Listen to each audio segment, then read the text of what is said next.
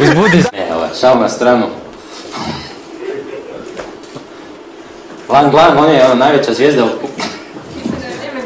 Svira s jako puno strašću, i- strasti. Milo će nešto. Evo, kako god to oni pokušavali biti ozbiljni, to njima ne ide od ruke. Sad su se malo pripremili, ali ne uspijaju.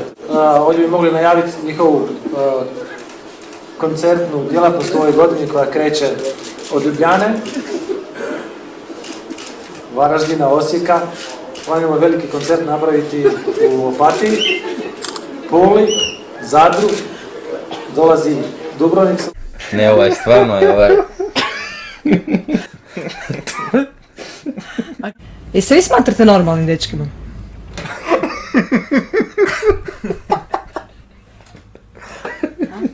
Ko si ti budala, je? ja ne znam šta mu je danas.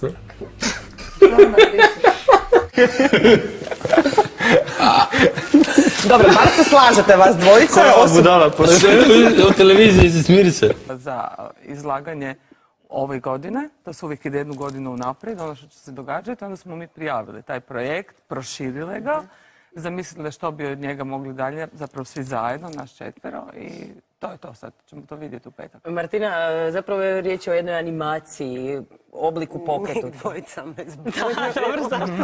Molim te. Što je smiješno? Valerija Karaš, kako je bilo? Diker, Deker, kako?